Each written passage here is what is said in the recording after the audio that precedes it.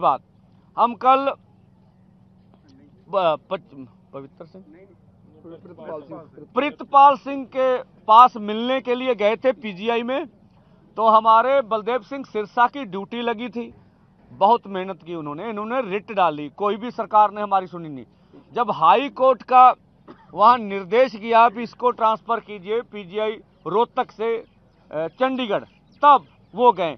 और इतने डरे हुए थे उनके घर परिवार के आदमी भी, जब सिरसा साहब लाइव होके बात बोलते थे तो वहाँ के पुलिसकर्मी धमकी देते थे, उनके परिवार को भी इनको लाइव होने से रोकिए, आपके लड़के की लाइफ चली जाएगी, पर्चा हो जाएगा, ये वगैरह।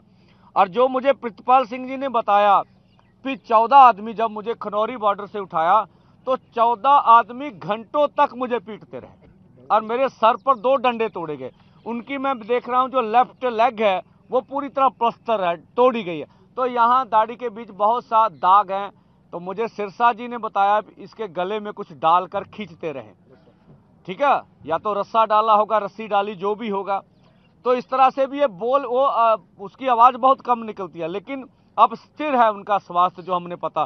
तो ये बर्बरतापूर्ण जो कायरतापूर्ण कार्रवाई जो किसानों के ऊपर केंद्र सरकार ने की है हरियाणा सरकार ने की है ये पूरा देश और दुनिया देख रही है।